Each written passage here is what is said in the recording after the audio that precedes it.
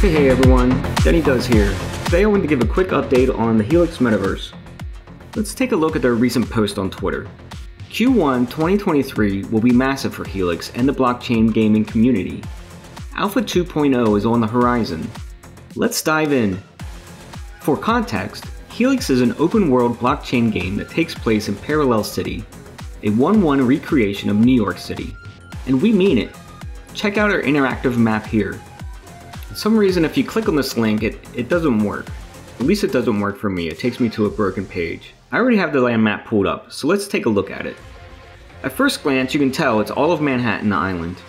It also shows all the different gangs that you can join if you're a part of Helix and where those gang territories are located. If you click on a building, it gives you the details on the right hand side. It shows the location, the tier, and any other special details about it. If you want to take a closer look at this building or perhaps purchase it, you can click on this link and view it on OpenSea. Helix has a verified collection on OpenSea. I'll post a link below. If you go to their main page, you can see all of their listed current drops. There's the Founders Pass, the 1959 Archipelago Cruise Master, Helix Mystery Cars, and the recent Parallel City Land Drop.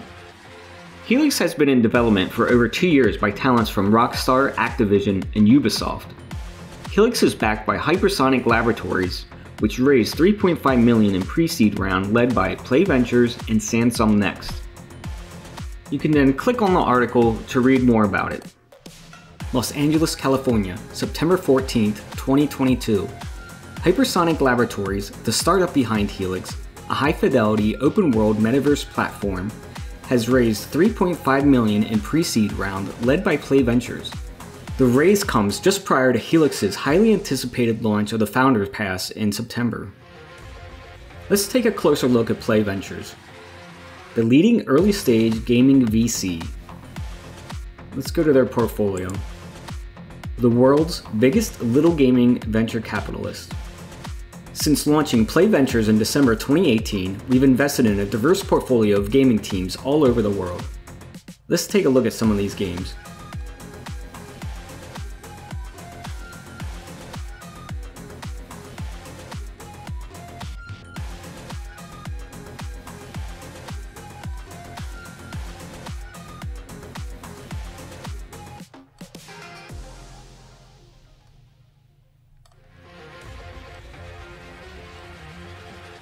If we go to this article posted in September 2022, we can see the top 10 gaming venture capitalist investors.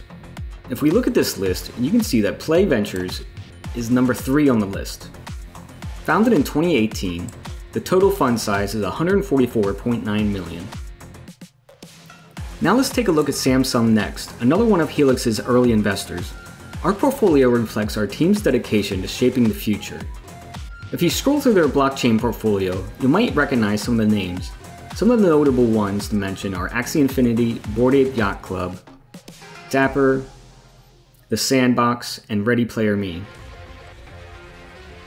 Helix then goes on to say, the current state of blockchain gaming has Ponzi-nomic token economic systems. They're not fun.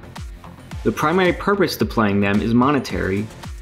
They're unrealistic they have a high barrier to entry, and they're unsustainable. Helix aims to take a fun first approach while building our hyper realistic metaverse. We recently became one of the first realistic blockchain games to showcase our game to holders. And that was just 1% of our capabilities. And as you can see here, Helix posted a short video clip from Alpha 1. Let's take a look at it.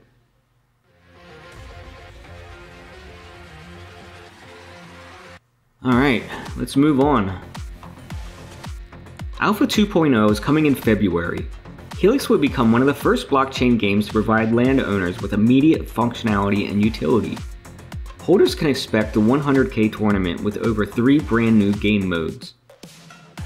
If you're a member of the Helix Discord channel, their developers often post sneak peeks of future game modes and releases.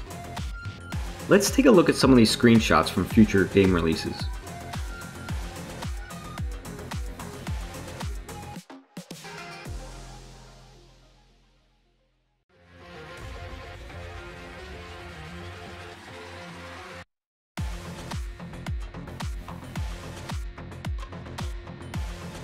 Along with the launch of our addicting and fun Alpha 2.0, the claiming website will also go live. The days of airdrops with no utility are over. All claims are playable in-game assets that will never be released again. I also have a sneak peek at the claiming website. I'm sure it will change by the time it goes live, but let's take a look at that now. Founder Pass and Landholders.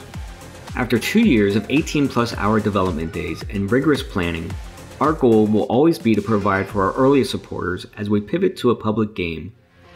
Holders will continually receive exclusive in-game assets and other surprises.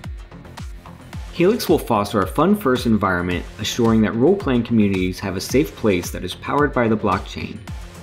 User-generated content and creativity will help sustain our ecosystem as we onboard hundreds of thousands of players.